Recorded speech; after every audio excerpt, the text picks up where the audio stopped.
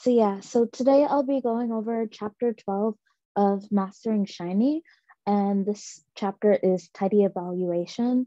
And the learning objectives for today are to learn the difference between a data, data variable and env variable, and then create Shiny apps that let the user choose which variables will be fed into tidyverse functions like dplyr filter and ggplot aesthetics. Um, so tidy evaluation.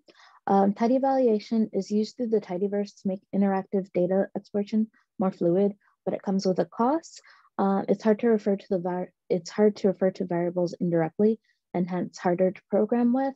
And in this chapter, we'll learn about how to wrap ggplot2 and dplyr functions in a Shiny app and the techniques for wrapping um, these functions in functions in a package are a little different and covered in other resources, such as using, using ggplot2 in packages and programming with dplyr. Um, so first we just load the Shiny library, dplyr, and ggplot2.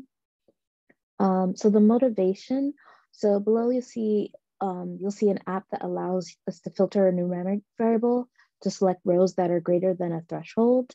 Um, so you see here in like the UI, um, the select input is um, var, or rather from, we click, we create the number of variables, um, we assign it um, based on like different variables in the, um, from our data frame. And then with the UI, we select the variable, um, select the variable, call it variable, and the choices are based on what we've assigned to numVars. And then the numeric input is min, which would be the minimum and value starts at one. And then our output is a table. And yeah, so for the data, we're using diamonds and you're filtering it, um, the input variable, which again was um, these like carat depth table price. Um, and you want it, the input um, less than the input min. And here the value is like one and then your output, you get um, the head of the table. And so here, and again, the minimum is supposed to be one, but if you look at the table, carats, it's all actually less than one rather than greater than one. And this is a problem of indirection, where normally using tidyverse functions, you type the name of the variable directly into the function call, but now you want to refer to it indirectly, where the variable carat is stored inside another variable input var.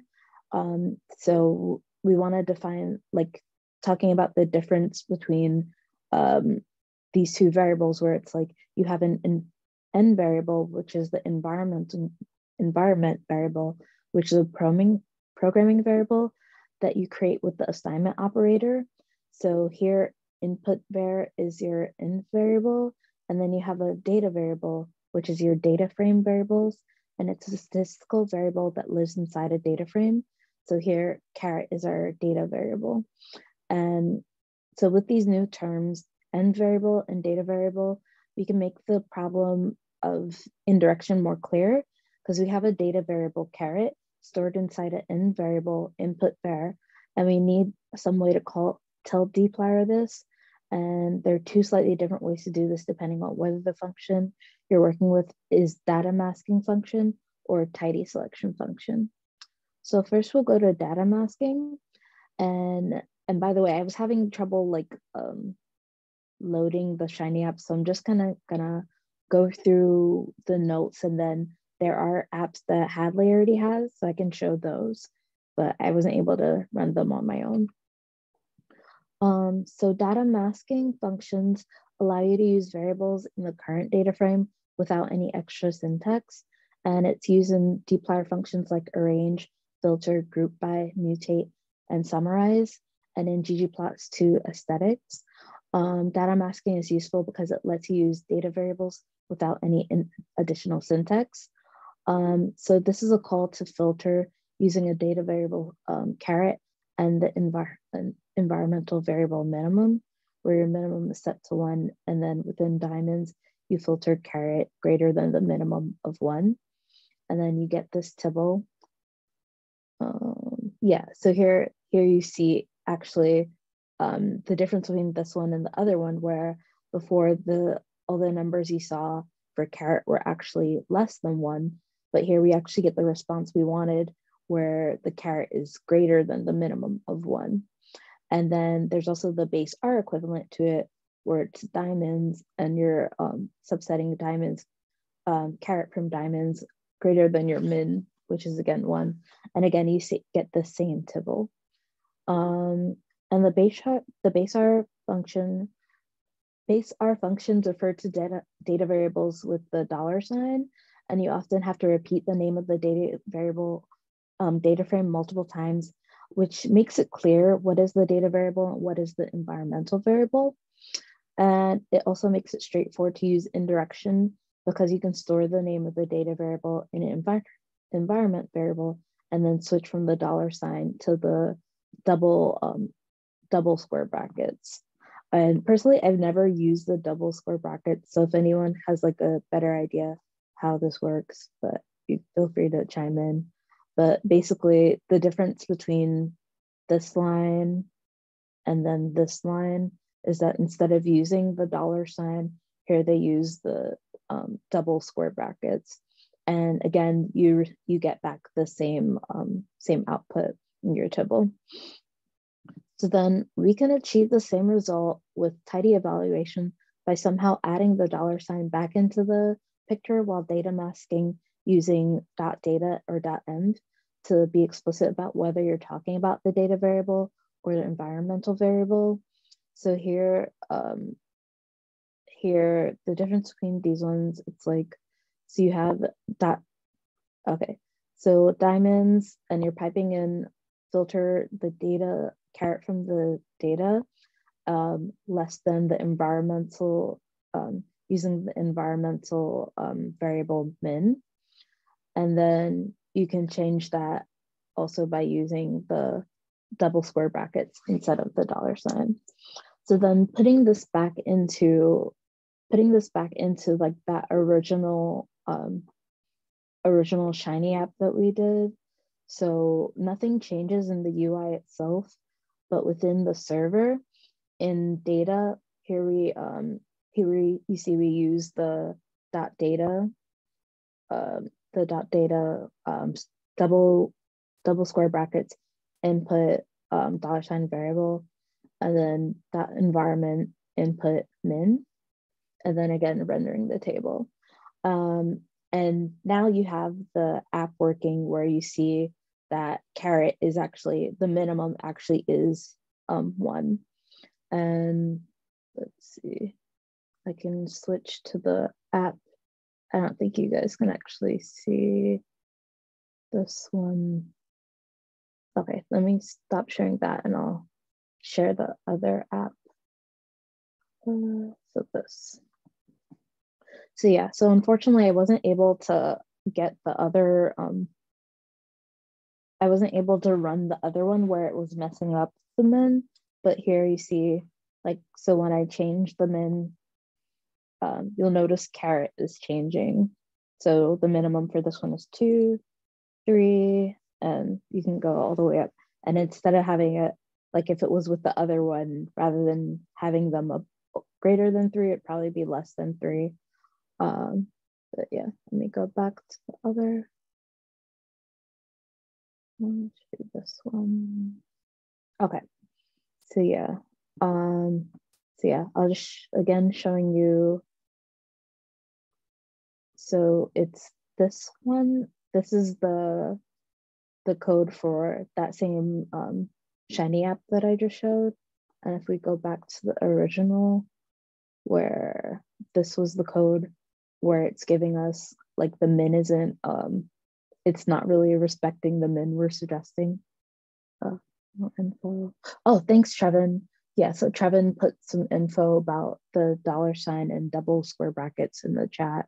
Um, so subsetting. Thanks, Trevin.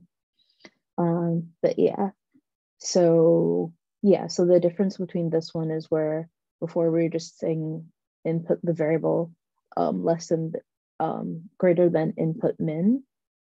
Yeah. And okay, so going back to this one. Okay, so that is that one. so now we'll do some um, example from ggplot2.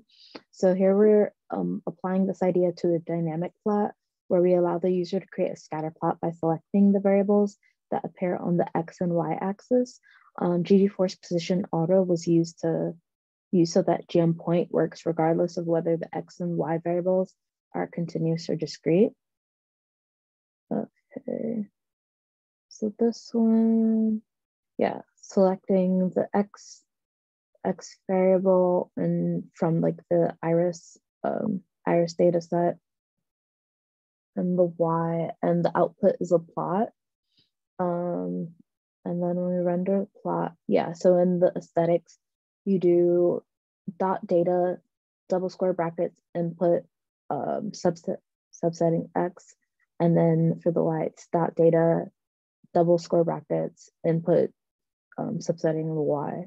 And yeah, where they mentioned the GM, ggforce position auto, uh, did I not put that picture? Oh, okay. Um, but alternatively, you could allow the user to pick the geom. Um, and then I think I don't have that picture. But yeah, um, the following app uses a switch statement to generate a reactive geom that is later added to the plot. So this one, let me see. So yeah, I think the fourth line where they're able to select the geom from like geom point, smooth or jitter.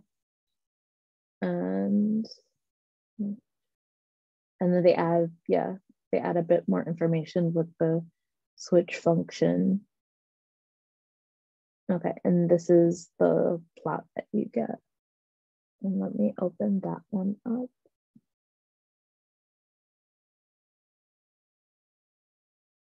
Mm, this. Okay, yeah, so using the iris data set, which is about like the flowers and the sepal length.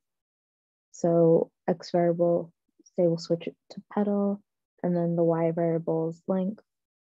But yeah, I don't think this is the one that switches the, they're all geom points for this one. But yeah, um, that's what that one did. Okay. And then, so one of the challenges of pro programming with user selected variables is that your code has to become more complicated to handle all the cases the user might generate. So like that's with like having to add the switch and all of that. And then, so we have another example with dplyr and the same, same techniques we use for ggplot2 works for dplyr. And the following app extends the previous simple example to allow you to choose a variable to filter, a minimum value to select, and a variable to sort by. So yeah, for inputs, you have the option to select a variable, the minimum variable, and a variable to sort by. Um, so yeah, the select variable based on the names the variables within mtcars, um, and the sort by variable based on, again, the names of the variables based in cars. And then with your server function, mm, yeah. And again, if anyone knows how to better explain this, feel free. I'm, yeah, I'm still so new to Shiny. um, yeah. And then for our output, we have the table mtcars where it's filtering um, dot data table, double square brackets, the input variable greater than the input min, and then arranging it um, dot data um, double square bracket input sort. And yeah, that's based on those inputs we have up here, bare, bare min sort. And then let me open up that app.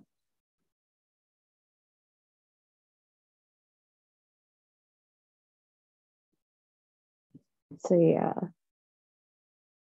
to select a variable, we'll select displacement. Um, and, uh, and they're sorted by, yeah, I did not Okay, so I think what's happening, so with the minimum, um, so I guess the minimum, the complete minimum value for displacement is the 71. And then as you choose a higher minimum, it's showing you less rows of the data. And right now it's sorted by MPG, but let's sort it by cylinder. Yeah. And then, yeah, so you'll see that um, whichever one you sort it by, it changes the um, which um, rows are shown first. Okay, let me go to the notes. Okay. And then, yeah, so that app allows you to pick a variable to threshold and how to sort the results. And again, you could see them live at this link. And most other problems can be solved by combining dot data with your existing programming skills. For example, what if you need to conditionally sort in either ascending or descending order? Um.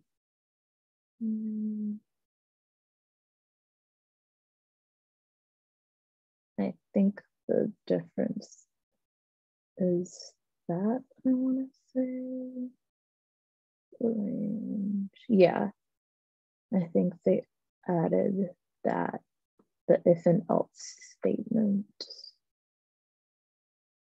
That one. Okay, so then there's also user supplied data. Um, so we have here we'll have an app that allows the user to upload um, a TSV file and then select a variable and filter by it, and it'll work with the vast majority of inputs you might try it with.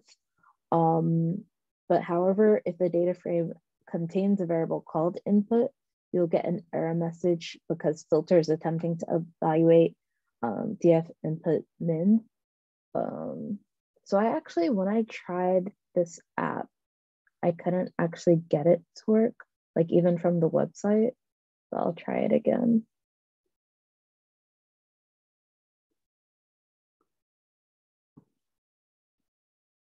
delete these other ones.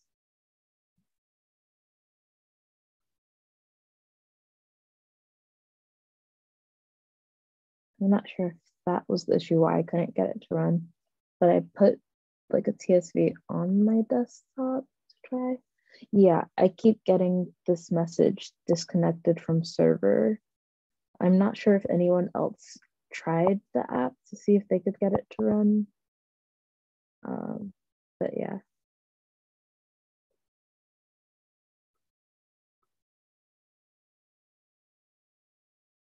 Okay. And then, so yeah. Uh, but yeah, so the problem with getting um, an app to run is due to the ambiguity of data variables and environmental variables, and because data masking prefers to use data variables if both are available, and you can resolve that by using .env to tell filter only looked for the min in the environmental variables. And you won't need to worry about this problem when you're, you only need to work, worry about this problem when you're working with user supplied data. But when you're working with your own data, you can just ensure that the names of the data variables don't clash with the names of the environmental variables. And in the book, it said, if you do, you'll find out. um, so then the question is like, why not just use base R? Um, and you might wonder, you might wonder if you're better off without filter. And if instead you should use the equivalent base R code here, um, data frame, data frame input variable greater than input min. Um, and that's solely a legitimate position um, as long as you're aware of the work that filter does for you. So you can generate the equivalent base R code, which in that case, you'll need to drop is equal to false if the data frame only contains a single column Otherwise, you'll get a vector instead of a data frame. And you'll need to use which or similar to drop any missing values. And you can't do group-wise filtering, such as data frame, um, piping group by or filter. Um, in general, if you're using dplyr for very simple cases, you might find it easier to use base R functions that don't use data masking. However, um, one of the advantages of the tidyverse is the careful thought has been applied to edge cases so that the functions work more consistently. And okay, so next we have tidy selection. So as well as data masking, there's one other important part of tidy evaluation, which is tidy selection. Um, tidy selection provides a concise way of selecting columns by position, name, or type, and it's used in dplyr select or in dplyr across, and in many other functions in tidyr, like pivot longer, pivot wider, separate, extract, and unite. Um, so indirection, so to refer to variables indirectly, use any of and all of. Both expect a character vector environment variable containing the names of data variables. Um, the only difference is what happens if you supply a variable name that doesn't exist in the input. All of will throw an error, while any of will silently ignore it. So tidy selection and data masking. Working with multiple variables is trivial when you're working with a function that uses tidy selection, because you can just pass a character vector of variable names into any of or all of.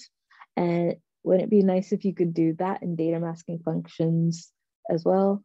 And that's the idea of across the across function, um, which was added in dplyr 1.0.0. It allows you to use tidy selection inside data masking functions. Across is typically used with either one or two arguments. The first argument selects variables and is useful in functions like group by or distinct. Um, so yeah, I'm not actually familiar with like any of or all of. So again, feel free to chime in about um, any of the code you see.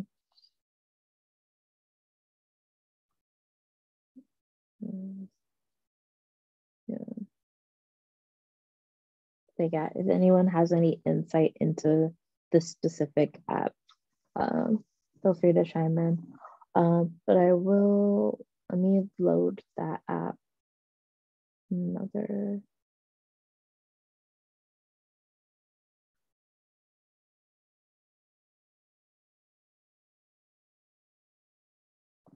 Okay. So yeah, I guess this one, you can use the specific variables and, oh, so like you can choose which variables to display. I'm not sure if anyone else had tried that. Um, let me stop sharing that and go back to the notes.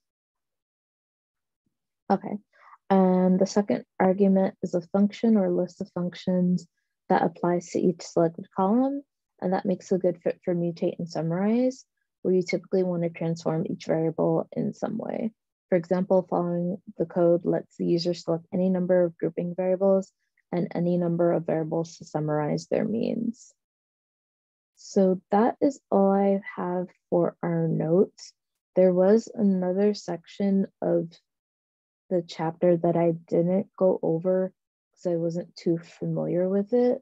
So it's, um, sorry, so it's parse plus eval, and it said it's worth a brief comment but if you have no idea what the combination is, you can skip the section. Um, but if you use it, um, Hadley kind of shares a small note of caution. Um, so I don't know if anyone has used it, but I guess I'll just read from the book. Um, it's a tempting approach because it requires learning very few new ideas, but it has some major downsides because you're pacing strings together and is very and it's very easy to accidentally create invalid code or code that can be abused to do something that you didn't want. want. Um, it's not super important if it's a Shiny app that only you are using, but it's a good habit to get into. Otherwise, it's very easy to accidentally create a security hole in an app that you might share more widely. Um, it'll be mentioned a bit more in chapter 22, uh, which is security. And you shouldn't feel bad if this is the only way you can figure out how to solve a problem, but we have a bit more mental space Hadley recommends spending some time figuring out how to do it without string manipulation, and it helps you become a better R programmer. So in summary, in this chapter, we've learned how to create Shiny apps that let the user choose the variables, which will be fed into tidyverse fun functions, such as the dplyr filter and the ggplot2 aesthetics. And it requires your it requires getting your head around a key distinction that you haven't had to think about before, the difference between a data variable and an environmental variable. And it'll take some practice before it comes second nature, but once you master the ideas, you can unlock the power to expose the data analysis powers of Tidyverse to non-R users. Um, so this is the last chapter in the section Shiny in Action part of the book. And I guess moving forward, we'll start with the go on to mastering reactivity. Um, so which helps focus on improving your understanding of the theory that underlines Shiny. And we have some comments in the chat. Oh, Lucio, you have so you have used the parse plus eval, but it's kind of hacky. And yeah, Trevin hasn't used it. Like I've never heard of it before, but I'm I'm so new to programming. But yeah. So I'll stop sharing there. I don't know if you guys have any questions. Otherwise, I think Matthew said he was gonna start on chapter 13 today. Uh, well, perhaps not a question, but a comment. Mm -hmm. uh, what I asked you in the beginning of the of the meeting about if we require the use of the of such a special pipe operator instead mm -hmm. of just the the base R1. And well, I, I tried it a little bit uh, earlier today, and yes, actually you, you can use the base R and still access the dot data uh, syntax in order to fix uh, this tidy where in order to work with these tidy functions in a Shiny app, it, it, it still works also with base R operator, the pipe operator. Okay, cool, cool.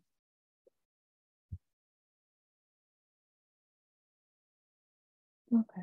So I don't know, Matthew, if you want to take over and start um, with like chapter 13. And I think actually Lucio from last week there was something I forgot exactly what we are going over, but I think also you guys mentioned reviewing something from last last week as well. Yeah, Lucio, do you mind and you want to talk about um, something from last week? No, okay. Uh, well, let me share my screen. I will first uh, let me. Uh, okay, now now yes, I share my screen. Uh, maybe I can show you also because uh, both of you, sorry, two of you mentioned that you were not familiar with the uh, with this parse eval syntax. I think it was over here. I don't know. I will I will just show you then. It, especially this that you can fit to R a, a string and make that R evaluate such a string as if it were like typical code that we would have written. For example, say something, uh, sorry, imagine something simple like simply defining some variable x and printing its value. So we know what is the outcome of these two lines of code, right? Sorry, these two lines of code, x1 and x. And we can do the same if we define it and we use the semicolon to create another line, but in the same one. Uh, next, and, and the output is the same, but now if it is word string, and say you want to evaluate this, then you can do this uh, kind of hacky thing, uh, and pretty insecure as well. Uh, you do eval this, but this string you wrap it with parse so that there is a nice transformation of this text, sorry, of this string in order for a while to work. And now that I press enter, then we get the exact same output as we did over here, right? If I, if I simply evaluated such code. So what the author is mentioning in that case uh, is that if you something like, uh, uh, instead of using and how do you say it? Instead of using the dot data syntax, if you instead, instead of that, you start uh, creating your whole, your whole, uh, let me show it with an example over here. And this is an example that I did for the mastering Shiny solutions. But the idea is that you start with a simple uh, ggplot with plot, but depending on some of the inputs of the users, there was additional arguments that could be added to this initial plot, right? Like not just the labels, but there were a couple arguments such as if you want to show a histogram or a density function and such. Uh, and this way of doing it, that I, this is the way I did it, uh, that the author mentions that it introduces uh, security concerns, is that your line of code is simply evaluated as a string, as we can see over here, but such code is created via concatenating various strings. In this case, this function would return something like uh, geom, something like this, geom, geom histogram with certain parameters, depending on, on what the user on the user does. Uh, but this is one way to to deal with what um, what we just covered in the chapter using this eval parse syntax to generate the code as a string and then simply evaluate it. Uh, but yeah, uh, it's not quite a good idea to do this. Uh, and maybe now I can share what uh, Matthew asked me to. And it's basically this application that a way for you to bookmark, uh, sorry, no, to download, to download the current state of your app, that is the actual, sorry, the current values of the inputs in your app, download such information via a JSON file, and then in your app, you can also upload such JSON file, um, make, make it so that the app, now the inputs get updated uh, with the data that you have fed into it. I, I will just show the example because maybe it's not quite clear uh, if I only say it in words. In words. So let me open it. It's really just uh, three inputs. This slider. We control how many random points we want for this histogram. Uh, and we choose a color for such histogram to the right. Uh, and what I said, when I mentioned is that we can uh, save the values of these inputs, of this slider input, this select input. And in this case, this button is also an input. So I will press this, save current input values into JSON file. So I press Control J to look at this file that has just been downloaded. I will open it right now. And it basically is right. Uh, a JSON file let me change a little bit its structure for it to be easier to understand. Okay, and that it contains uh, values of the inputs and what, what is the ID of such input. In this case, really, uh, this button has an ID of this one. R really, its ID is this one, but it still works at least. Then we had some slider. Its ID was sample size and it's over here. And to the right, it's its current value once I pressed save current input values. And similar for the color. You choose you chose one and its value was stored over here. Uh, and the main idea is that with these values, uh, with these current values, that is color Peru sample size 662, if I up upload such JSON file, uh, the values of these inputs will be set to what they are over here. Sample size to 62 and color to Peru. This other one doesn't really, it eh, really doesn't matter.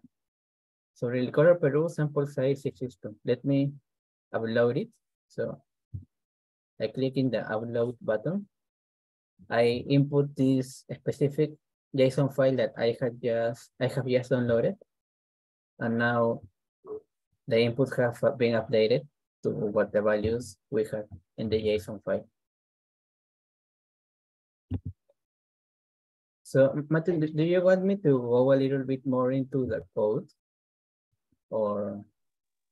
Um, I tried running the same code, the one you dropped on the Slack channel, uh, but I had a challenge with um, generating the uh, the JSON file because it's it gave me an error. And sadly, my laptop is currently not with me. I, I moved, I kind of, I moved um, out of where I was staying. So I kind of left my charger somewhere. So um, I'll should get it soon. Um, is there a way you could, yes, okay. What are you trying to do? Uh, then I will just explain, not the whole code, but really uh, the main parts of how this works, um, how you can implement it. Uh, the main idea is that how does Shiny in the background update inputs in the page? Uh, well, in this discussion that Maya Gans uh, and, and Ras uh, had, the link to this part of the of the official code for Shiny. And in this, for example, for this section that we are already familiar with, to update the uh, values of a text input, we get uh, this special syntax. The use of the session object that we have been working with when we define our server, this session over here. And in this case, uh, this specific uh, property of such session, uh, this is what is determined uh, via these parameters, that is to which ID using a specific ID, sorry, to which input using a specific input ID. And in this case, what is the change that you want to perform to such input? And we can see over here, this message variable is, uh, let's not take a look at this drop nulls function. Uh, really, the main idea is this list. You're passing a list of the values that you want to change, sorry, of the properties that you want to change, and the actual values for such properties, right? For this text input, they're passing a list, they want to change the label, the value of such a text input, or something like the placeholder for such input. So really, the main idea is that you can also update, uh, perhaps in via this more generic way to update uh, uh, an input with via Shiny. You can also update your Shiny inputs directly via R, not necessarily uh, with, J with JavaScript, uh, using this similar syntax. In this case, this is the part that matters, this one over here. But the main idea is that, say, I want to update the color for this select input. Well, what is its ID? Color. And the color, uh, what is it? Really, it's a selected value. So we could do something like uh, via this ID and the value and the selected value that we want for this select input. We could, if we wanted to update such input, instead of doing it uh, the usual way, like update select input, uh, you can do something like, let me just write it over here. Session, uh, send input message, and then what is the input ID? For this select input, it's color. So the input ID is color. And then what do we, what do we want to change? Well, we first put that into a list. We want to change a selected property and say we want it to be Peru. So we, right, the property is selected and in the value that we want for, for such property is Peru. So if you execute this, then the input with this ID will be updated, sorry, its parameter selected will be updated via this specific value. So really that's the main idea of this code. Uh, you press this button in order to to get the current values of the inputs. Uh, and then when you upload the but the JSON file downloaded, uh, really we are doing this over here. We have a list of IDs. So for each ID, sorry, for each for each for each input ID, we want to change the value of such of such input uh, and set it to the value that it is stored in the JSON file that we have uploaded, right? The one that we saw over here, because we have the what is the input ID and what is the value of such input ID. So it's really a, a play on this specific function. Uh, and, a, and a little bit of, of JavaScript, that, but that's really isn't quite important. So are, are there any questions? Something you want me to perhaps cover in more detail or?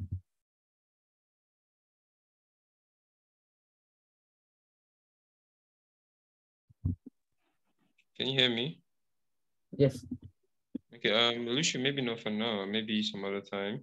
Uh, we'll still ask some more questions. Um, sadly, like I said, my laptop is not here with me. Okay, you already dropped the code. Okay, uh, link. Okay. Sadly, my laptop is not here with me, so I really will not be able to practice after now immediately. Most of the things you just um, explained. So best thing is when I go through them, I would um, still ask uh, questions from you in the long run. Thank you okay. for this. Yeah, also try to, to run the code with the updated files because I just changed those in Slack like two hours ago. Okay.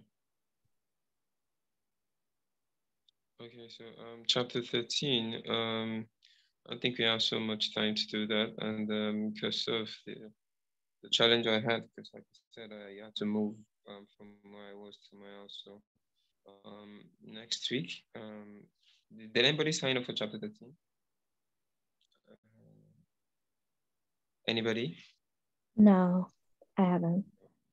Okay, so um, I'll go through it and um, possibly I will take it um, next week. Oh, I think it's just the introduction part. I don't know why this is giving me a challenge tonight. I'm trying to use somebody else's laptop, but still yet I can't. Um, I still cannot access the um, the textbook. Um, hopefully, next class we'll talk more. And um, I want to say thank you guys for coming around again today. I um, I, I hope we keep doing this. I think before the end of May it should be done if we keep to the schedule now. I know there could be breaks. Uh, I just hope those breaks don't fall. Like there could be holidays. I just hope those holidays don't fall on our um, discussion days. So um, I want to say thank you guys for coming around, and um, I look forward to seeing you guys next time. Um, have a, a wonderful um, time. Thank you, Matthew. Thank you, everyone. Yeah, thank you very much. Hello, Trevin. Hi, Hello. thank you, everyone. Bye, thank you. Bye. Okay.